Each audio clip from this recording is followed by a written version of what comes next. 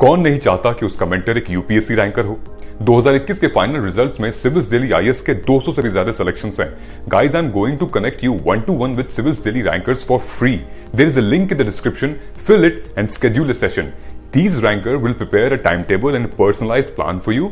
ये टॉपर्स आपको exactly वही बताएँगे कि कौन सी बुक फॉलो करनी है, कौन सा चैप्टर पढ़ना है। They will guide you in answer writing mocks and assessing them don't miss this golden opportunity to get mentored by a ranker hello everyone मेरा नाम शुभांकर प्रत्युष पाठक है। सिविल सेवा परीक्षा 2021 में मैंने ग्यारहवीं रैंक प्राप्त की है। ये मेरा पहला प्रयास था और मेरा ऑप्शनल मैथमेटिक्स है।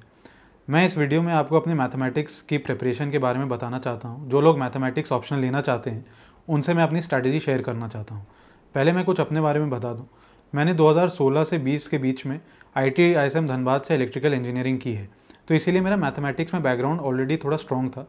मैथमेटिक्स मेरा पसंदीदा सब्जेक्ट भी है। सबसे पहले मैं ये सवाल उठाना चाहता हूँ, जो मुझसे बहुत लोग पूछते हैं, कि किन लोगों को मैथमेटिक्स ऑप्शन लेना चाहिए?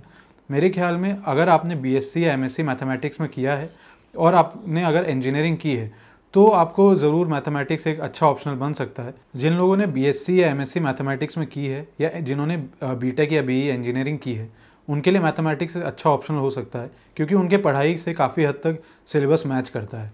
जिन्होंने ग्यारहवीं या बारहवीं में मैथमेटिक्स की है और उसके बाद ये सब्जेक्ट नहीं पढ़ा है, उनके लिए शायद थोड़ा सा सिलेबस डिफ़िकल्ट हो जाए तो उनको एक बार देख के और कुछ चैप्टर्स ट्राई करके मैथमेटिक्स ऑप्शन लेना चाहिए। मैं जो भी लोग मैथमेटिक्स ऑप्शन लेना चाहते हैं, उनको मैं ये बताना चाहता हूँ कि आप कुछ ऐसे सब्जेक्ट्स हैं, पहले वो ट्राई करके देखें। अगर वो चैप्टर्स आपसे आसानी से सॉल्व होते हैं, उसके बाद ही आप मैथमेटिक्स लें। ये चैप्टर्स हैं जैसे ओडी हो गया ordinary differential equation linear algebra numerical analysis पहले आप ये तीन टॉपिक ट्राई करके देखें। अगर आपको इन टॉपिक्स में भी डिफ़िकल्टी आती है तो फिर ये ऑप्शन शायद आपके लिए एक बेहतर उपाय नहीं होगा, क्योंकि जो बाकी टॉपिक्स हैं मैथ्स में, वो इनसे कहीं ज़्यादा डिफ़िकल्ट हैं। ये सबसे आसान टॉपिक्स में से हैं। तो आप ये लें। अब मैं ये बताना चाहता हूँ कि मैंने मैथमेटिक्स ऑप्शनल क्यों ली? जैसे मैंने बताया कि मैथमेटिक्स में मेरा बेस ऑलरेडी स्ट्रॉन्ग था। 60 से 65 परसेंट सिलेबस मैंने इंजीनियरिंग में कवर कर रखी थी। एंड बाकी का सिलेबस मैं कॉन्फिडेंट था कि मैं खुद से कर लूँगा। मैथमेटिक्स ऑप्शन लेते वक्त मुझे ये भी पता था कि मुझे अलग से पढ़ना पड़ेगा, इसका जीएस से कोई ओवरलिंक नहीं है। तो अगर मैं जीएस वगैरह पढ़ते हुए बोर भी होता था तो मैथ मैं मैथमेटिक्स पढ़ने लगता था। इसलिए मैथमेटिक्स मेरे लिए एक बहुत इंटरेस्टिंग ऑप्शनल था। एंड मैंने एक बार जब डिसाइड कर लिया कि मैं मैथ्स ऑप्शन लेके पढ़ूँगा, उसके बाद फिर मैंने कभी अपना ही डिसीज़न चेंज नहीं किया। आप भी एक बार अपना ऑप्शन डिसाइड करें। उसके बाद आप बहुत ज़्यादा आगे पीछे ना हो, क्योंकि ऑप्शनल आपका एक बहुत इंपॉर्टेंट पैरामीटर है आपके सिलेक्शन में। मेरे मैथमेटिक्स ऑप्शनल में 286 मार्क्स आए दोनों पेपर में 143 नंबर आए हैं। तो मैं आपको बताना चाहूँगा कि मैंने एक साल में तैयारी मैथ्स की कैसे की? क्योंकि मेरे पास टाइम कम था तो मैंने आईएमएस के नोट्स ले लिए। उनके नोट्स बहुत कॉम्प्रिहेंसिव हैं और उस नोट्स को ही मैंने अपना बेस बनाया प्रिपरेशन का। मैंने बहुत ज़्यादा मैथ्स में किताबें फॉलो नहीं की। एक और चैनल है जो मुझे जब प्रिलिम्स पोस्टपोन हुआ, तब मैं, तब मेरा उनसे परिचय हुआ। मैथोक्रैट एक चैनल है यूट्यूब पे। जहाँ पे शिवराज गुज्जर सर, जिन्होंने खुद मैथ्स में 300 प्लस स्कोर कर रखा है, वो फ्री में जो सबसे टफेस्ट टॉपिक्स हैं मैथ्स के, जो फिज़िक्स के सारे पार्ट्स हैं, जैसे फ्लूड डायनेमिक्स मैकेनिक्स और स्टैटिक्स एंड डायनेमिक्स और रियल एनालिसिस ये पाँच टॉपिक्स मैंने उनके चैनल से कवर की नोट्स बनाए। और अगर आप देखेंगे तो उनके वीडियोस पे काफ़ी जगह मेरे डाउट्स भी पूछे हुए हैं, जो वो तुरंत रिप्लाई करते हैं। तो ये दो मेरे मेजर सोर्सेज थे मैथमेटिक्स ऑप्शनल के लिए। मैंने कुछ टॉपिक्स में रेफरेंस बुक्स भी यूज़ की। जैसे ओडी और पीडी में एम डी राय सिंघानिया की बुक है। सिमिलरली फ्लूड डायनेमिक्स में भी M D Rai Singhania sir की बुक है। कॉम्प्लेक्स uh, एनालिसिस में मैंने कृष्णा सीरीज़ है।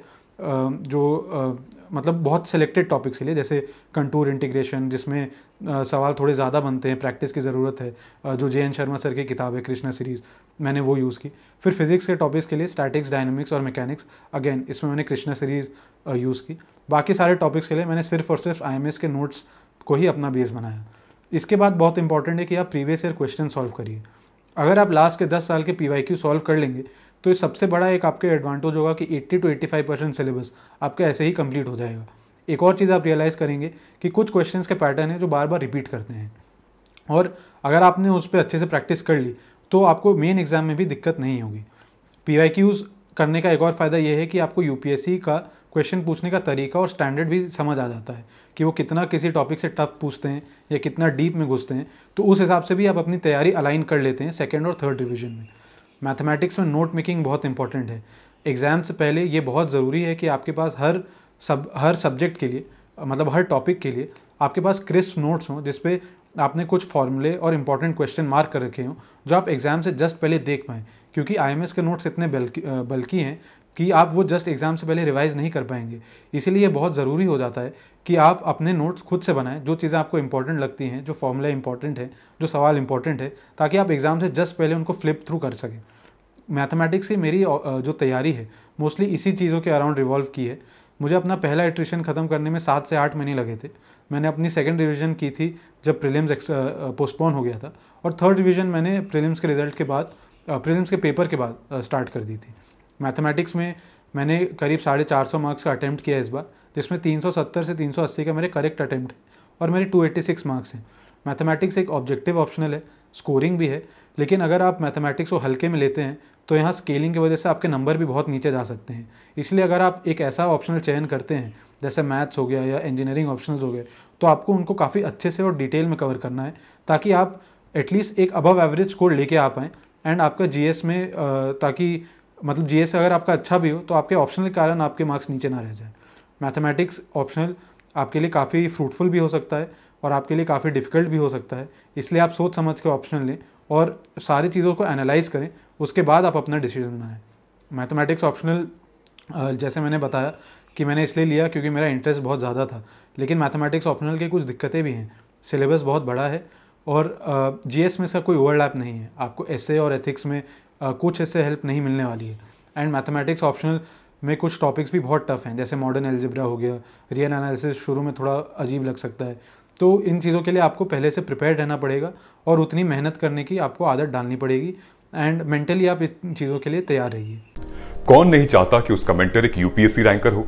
2021 के फाइनल रिजल्ट्स में सिविल्स दिल्ली आईएएस के 200 से भी ज़्यादा सिलेक्शंस हैं।